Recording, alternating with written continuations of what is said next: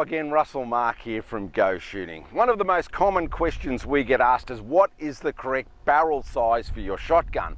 Well, of course, there's no definitive answer. It depends upon your size, your strength, your ability, and of course the discipline that you're shooting. Today we thought we'd take you through some of the most common clay target disciplines and at the moment what the most common barrel length is for that discipline. Today I'm at the Werribee Victorian Clay Target Club which has all the clay target disciplines covered. So let's start here on the skeet ground. Skeet has two major disciplines. The international version is dominated by barrel lengths anywhere from 28 inches up to 30 inches. Sorry to use imperial dimensions, but when we're talking about barrel lengths, that's what we use. Interestingly, when we talk about barrel weights, we use the metric version.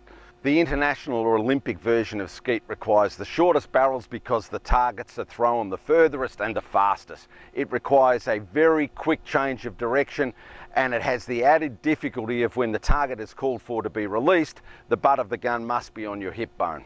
The American version of skeet can have the gun mounted to your shoulder when you call for the target and the targets are thrown over 10 metres less in distance. Therefore longer barrels are more popular. It wasn't that long ago however that 26 inch barrels were the most common skeet gun used. Then we progressed to 28 30 inch is probably the most popular used worldwide now, but many of the elite American skeet shooters even use 32 inch barrels. Sporting Clays offers a variety of disciplines from FITASC to English Sporting to this five stand compact layout.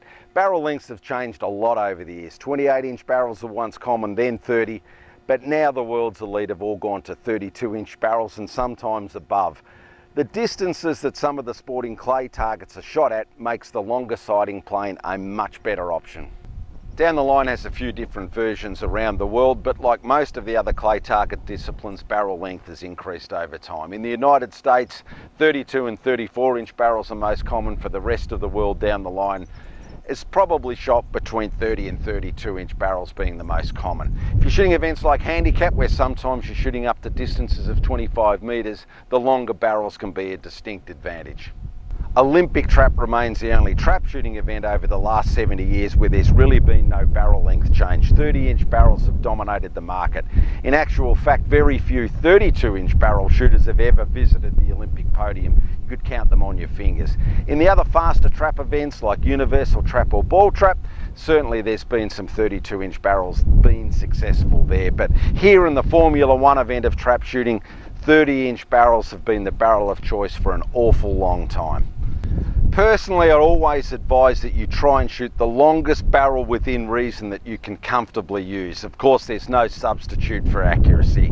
From all of us here at Go Shooting, we hope you like this video and as always, we look forward to seeing you at a Go Shooting range really soon.